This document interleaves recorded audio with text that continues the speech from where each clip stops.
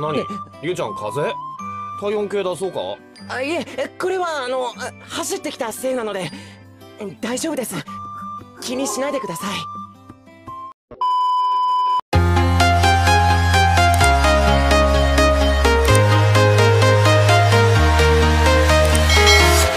I'm walking alone.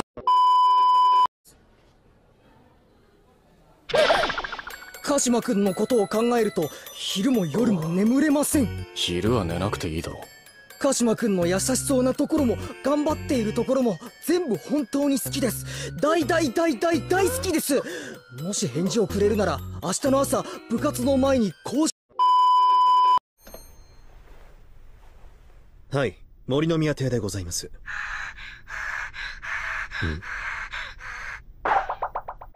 黙ってねえでさっさと名乗れアホ。変態か。なんで出たの龍じゃね。ああ。人見知りすんなら自分でかけるとか言うんじゃねえよ。庭に入り込んでこれもらってたぞ。えにちゃレモちゃばっちゃんの薬やっぱり俺今は小太郎のことを一番大事にしてやりたいからいやそれみかんだよ。おお今日の俺はヒーローだぞ振り回すな迷惑だろうが。たくんなもん持ってきやがって。なくしても俺は知らねえからな。俺なくさね絶対なくすな。神谷。悪い。待ったか？え？うん暇だけど。んちょっと待って。何？お前も変わりたいの？さっさと話せ。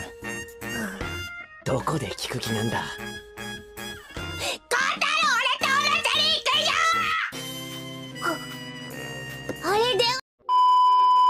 人気おもちゃが当たっちゃうよ。どうだい？兄ちゃんたち一本引いていくかい？よし。じゃあ次はもっと腹の足しになるもん食おうぜ。ああそうだな。そうしようタカ君。二人とも何食べたい？絶対あの日も繋がってねえし。繋がってないだろうな。特にゲーム機とかは。早く行こうぜ。渡辺君だちょ待って。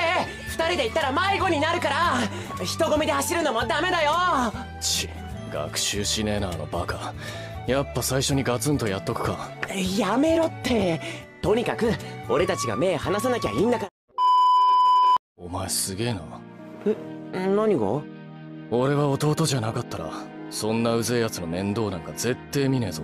俺だっていいじゃんでやんねえもんじゃああんまり泣かすなよ神谷